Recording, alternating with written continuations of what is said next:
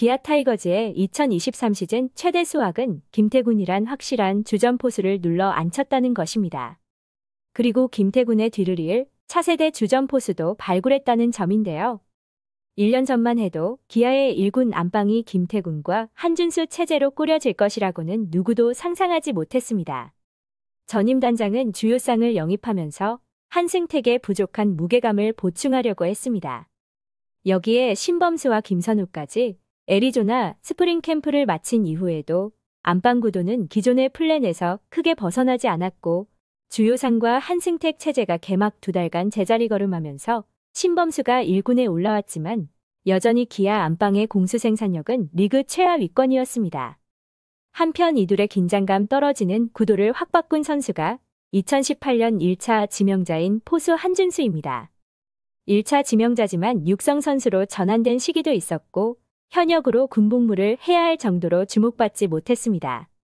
군복무 후 20kg 넘게 살을 빼면서 확 달라졌다는 얘기를 들었고 1군 적응 과정에서 김태군이란 확실한 주전 포수를 만난 게 한준수에겐 큰 행운으로 다가왔습니다. 올 시즌 한준수는 왜 기아가 5년 전 1차 지명으로 택했는지를 스스로 증명해 보였습니다. 앞으로 공수 겸장 포수로 성장할 가능성이 무궁무진하다는 것을 입증했는데 우투 자타임에 한 방을 갖췄고 포구 및 송구 능력도 괜찮다는 평가였습니다. 볼 배합과 투수 리드는 아무래도 경험이 부족해 어려움이 많았지만 팀 사령탑은 한준수의 연구하고 노력하는 자세를 높게 평가했습니다.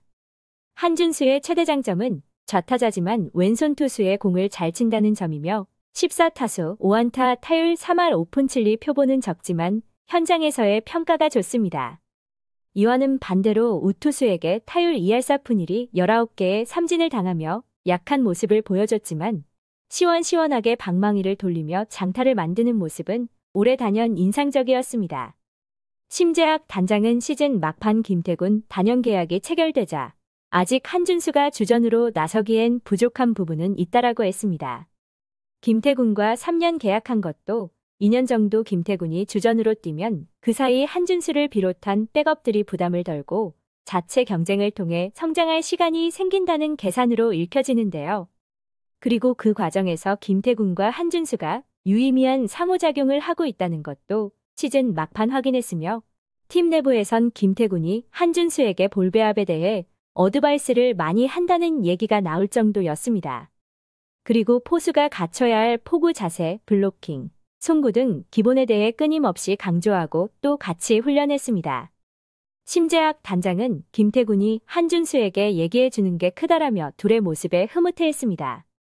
김태군의 영입으로 백업 포수에 대한 시간을 위해서 3년 벌어준 기한은 2026년 정도부터는 젊은 포수가 주전으로 적어도 김태군과 대등하게 출전 시간을 나눌 정도로 성장한다는 계획이며 그 선두주자는 현 시점에선 단연 한준수라 봐야 하고 현재 기아 젊은 포수들 중에서 한준수보다 성장 속도가 빠른 케이스도 없습니다.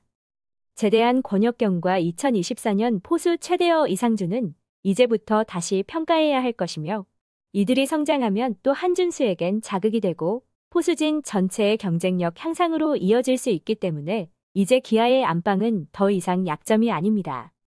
앞으로 2, 3년간 김태군 효과가 극대화될 것으로 보이고 특히 한준수의 성장이 기아 안방에 흥미를 자아낼 것입니다. 시청해주셔서 감사합니다.